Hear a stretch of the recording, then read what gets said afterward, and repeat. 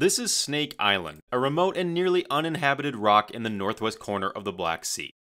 In February 2022, this little known place made international headlines after it was one of the first stops of the Russian Navy as Vladimir Putin began his invasion of Ukraine.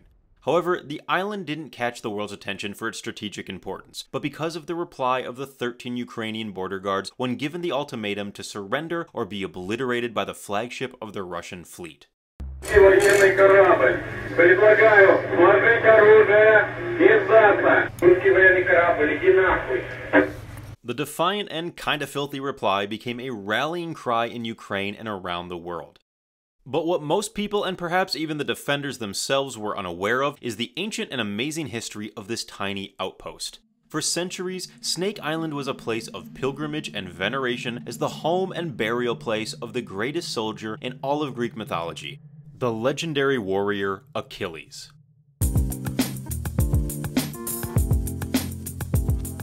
Achilles was of course the mythic figure from Homer's Iliad. And yeah, the thing we need to cover is how does a mythological person from 3000 years ago have a tomb? Well, the short answer is he doesn't.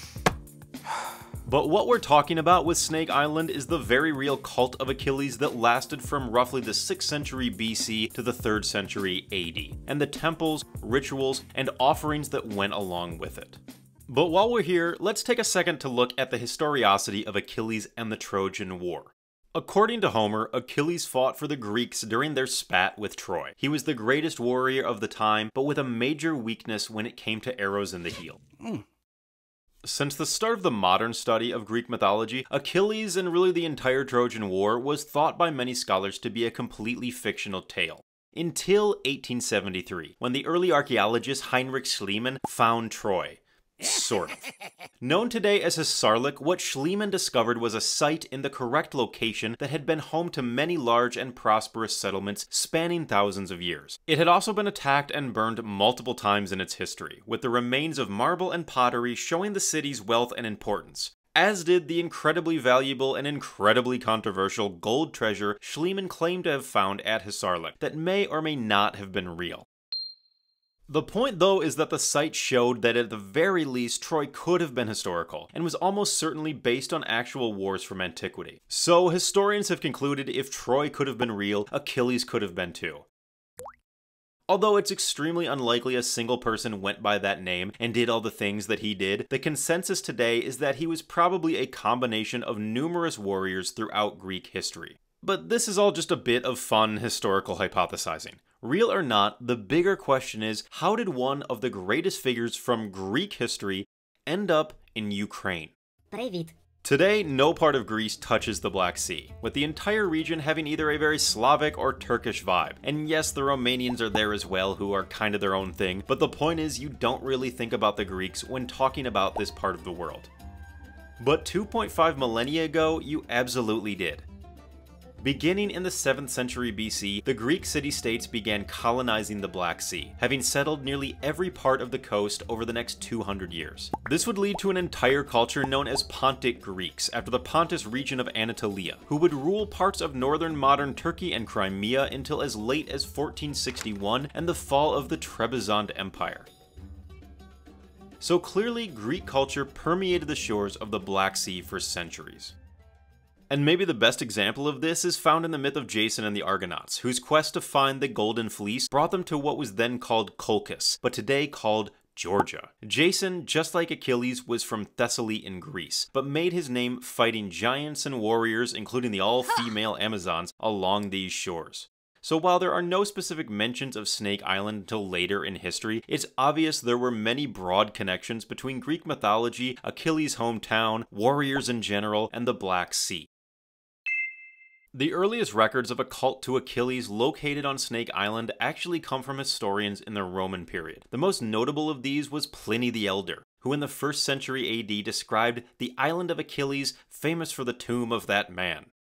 It was said that after the fall of Troy, Achilles' mother gathered his bones from the funeral pyre and brought them to the island. And although there are numerous versions of the story, the general idea is that before his death, Achilles used Snake Island as almost a fortress of solitude, retiring there with his Myrmidon warrior. Pliny also mentions the race course of Achilles as the traditional spot where Achilles and his men would race and exercise their horses. Pliny describes it as a narrow peninsula in the shape of a sword 125 Roman miles from the island, which today is almost exactly the distance to the very sword-like Tendra spit off the coast of Ukraine.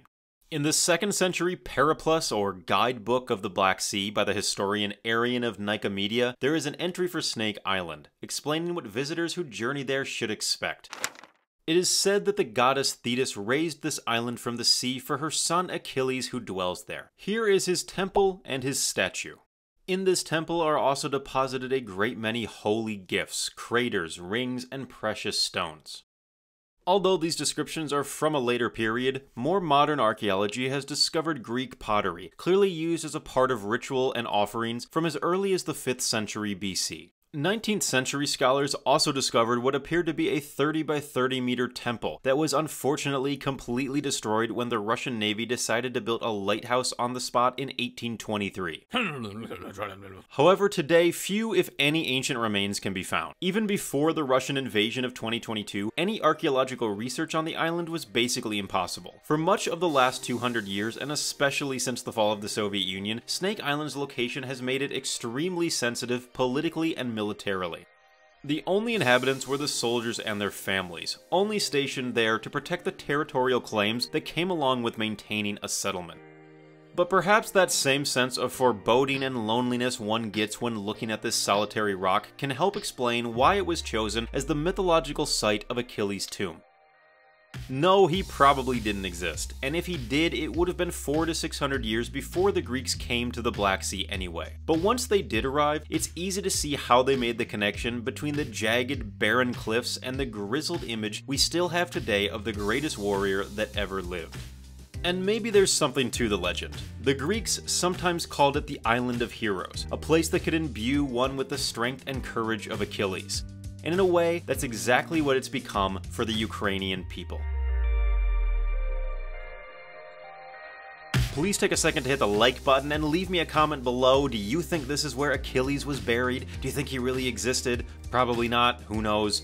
Thanks so much for watching.